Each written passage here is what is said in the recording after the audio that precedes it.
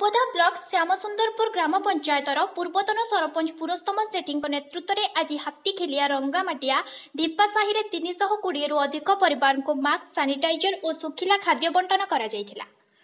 Corona ପରି ମହାମାରୀରୁ କିପରି ରକ୍ଷା ପାଇବେ ସେ ବିଷୟରେ ଲୋକଙ୍କୁ ବୁଝାଇବା ସହ ସଚେତନତାର ବିଭିନ୍ନ ବାର୍ତ୍ତା ମଧ୍ୟ ଦେଇଥିଲେ। ଏହି କାର୍ଯ୍ୟରେ ତାଙ୍କୁ ମନୋରଞ୍ଜନ ଦାସ କମଳାକାନ୍ତ ବାରିକ ପ୍ରଭାକର ପରିଡ଼ା ମାୟାଧର ପଣ୍ଡା ଲକ୍ଷ୍ମୀଧର ଗଜାନନ ପଣ୍ଡା ମନୋରଞ୍ଜନ ଧାଉଁଡ଼ିଆ ପ୍ରକାଶ ପଣ୍ଡା ନିରଞ୍ଜନ ବେହେରା ପ୍ରମୁଖ ସହଯୋଗ କରିଥିଲେ।